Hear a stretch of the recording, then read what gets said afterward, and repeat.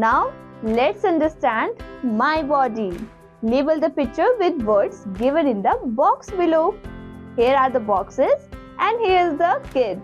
You have to label his body parts. So let's start. Here is eyes, B legs, C hair, D ear, E nose, F mouth, G hand. Now kids, let's do. Look at the picture given below. Write the correct part of the body from the options given in the brackets. A. I see with my dash.